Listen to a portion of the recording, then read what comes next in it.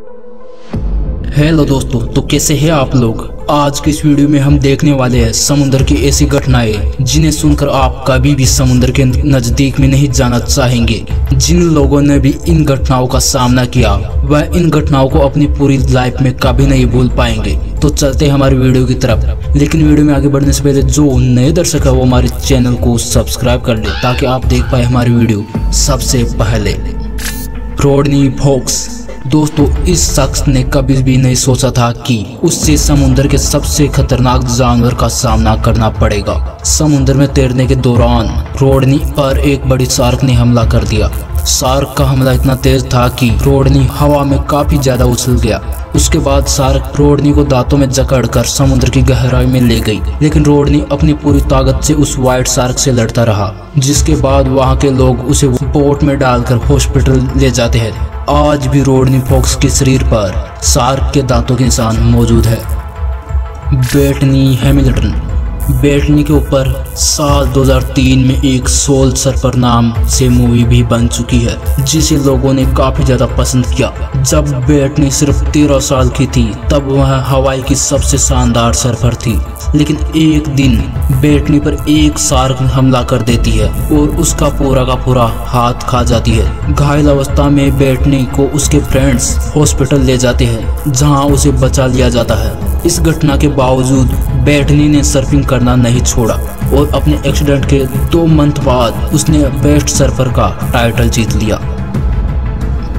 Mike Fanning. Mic Australia के जाने माने सर्फर है, जो कंपटीशन के दौरान पानी की ऊँची ऊँची लहरों पर सर्फिंग कर रहे थे। इसी दौरान पीछे से एक शार्क ने उस पर हमला कर दिया और फिर वह पानी में डूबने लगा, लेकिन माइक ने हार नहीं मानी। और शार्क के मुँह पर लगातार मुक्के मारने लगा, जिसकी वजह से वह शार्क के मुँह से बाहर निकल गया और तैर कर किनारे आ गया। डॉल्फिन, साल 2005 में लोगों की जान बचाने वाला एक ग्रुप न्यूजीलैंड के समुद्री किनारे पर तैर रहा था। तभी उनके पास डॉल्फिन का एक ग्रुप आकर उनके चारों ओर गोल गोल चक्कर काटने लग गया। तब उन्होंने डॉल्फिन के सर्कल के बाहर देखा तो उन्हें वहाँ पर एक बड़ी शार्क मछली दिखाई दी, जो इन लोगों पर हमला करना चाहती थी। लेकिन डॉल्फिन की वजह से वह ऐसा नहीं कर पाई और डॉल्फिन ने भी इन लोगों का साथ तब तक नहीं छोड़ा, जब तक हर व्यक्ति किनारे तक न पहुँच ब्रेव मोम।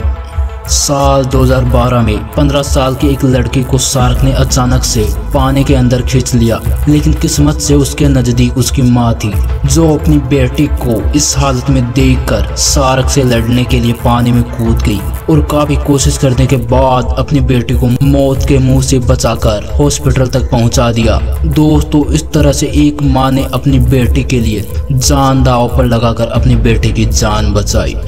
तो बस दोस्तों, इस वीडियो में इतना ही। उम्मीद है वीडियो आपको थोड़ा पसंद आया होगा। इस वीडियो को थोड़ा लाइक थोड़ा शेयर ज़रूर करें।